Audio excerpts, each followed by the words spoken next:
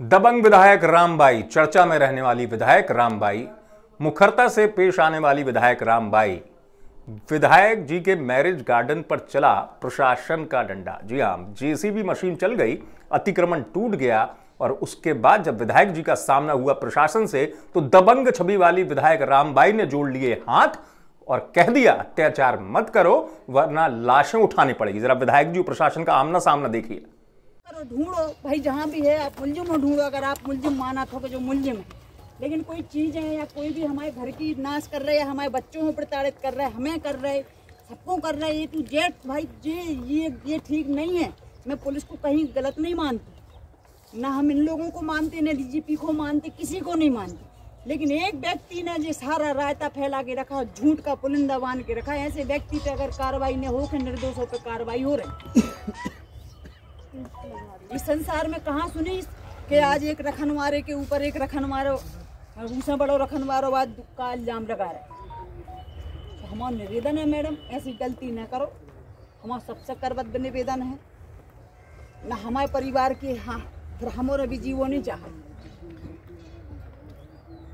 तो हम सबसे हाथ जोड़ रहे आप आप लोग मुलजिम ढूंढो, घर छान ले।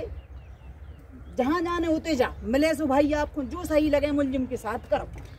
भाई, ऐसे काम मत करो जिसे यार आदमी को भरोसा ही उठ जाए। बिल्कुल कानून पे ने सब पे।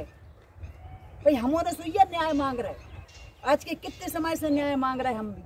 भाई, पुलिस नाम जोड़ रही, भाई, पुलिस काट रही। आज बाईस तेईस आदमी भीतर जेल में बंद हैं। तो सबको मालूम है सच्चाई क्या है। लेकिन क्या सत्य क्या ऐसे ही गुमराह रहे हैं मैडम? कहूँ सत्य की कोई बात नहीं, हम आपको दोष नहीं दे रहे। आपसे कोई हमारी शिकायत है नहीं शिकवा सो हमारा करबद्ध निवेदन है, इतना अत्याचार मत करो। न शाम को हमारों की लाशें उठा पे भी आ जाएँगे। पंचनामा भी शायद आप ही लोग करो। देखा आपने, किस तरीके से आमना सामना हुआ? खबर में आपको बता देता हूँ। खबर यह है कि दो साल से फरार चल रहे देवेंद्र चौरसिया हत्याकांड मामले में विधायक रामबाई के पति गोविंद सिंह पर अब प्रशासन का शिकंजा कसरा है गिरफ़्तार करने को लेकर। यही वजह है कि बुधवार को प्रशासन ने यहाँ पर अपना एक्शन लिया।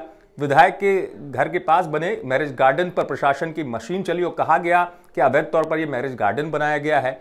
दरअसल सुप्रीम कोर्ट, जी हाँ, सुप्रीम कोर्ट ने अपनी सख्ती जो मध्य प्रदेश की पुलिस को लेकर दिखाई थी और डीजीपी से कहा था, क्या मध्य प्रदेश में जंगल राज कायम है? अब तक आपने गिरफ़्तार नहीं किया, क्योंकि इस पूरे मामले में यह भी आपको पता है कि मामले में जो निचली अदालत के जज थे, उन्होंने तक कहा था, सुरक्षा की गुहार लगाई थी कि इस मामले की सुनवाई करते हुए उनको लगातार धमकियाँ मिल रही हैं। कुल मिलाकर अब प्रशासन सक्रिय होता हुआ नज़र आया, लेकिन विधायक जी का यह स्वरूप भी पहली बार नज़र आया, जिसमें विधायक राम भाई हाथ जोड़े हुए नज़र आई और यह भी कह दिए प्रशासन से कि अत्याचार मत करो, अत्याचार मत करो, वरना लाशें उठानी पड़ सकती है। दरअसल पूरे मामले में अब प्रशासन हो चुका है सक्रिय और कहा जा रहा है कि कभी भी गिरफ्तारी हो सकती है रामबाई के पति गोविंद सिंह की। लेकिन देखने वाली बात यह है कि दबंगी से पेश आने वाली विधायक रामबाई के इस पूरे कदम के बाद अब प्रशासन जो है लगातार जिस तरीके से एक्शन ले रहा है, प्रशासन का यह एक्शन कितना कारगर साबित होता है यह देखना होगा। आप देखते रहिए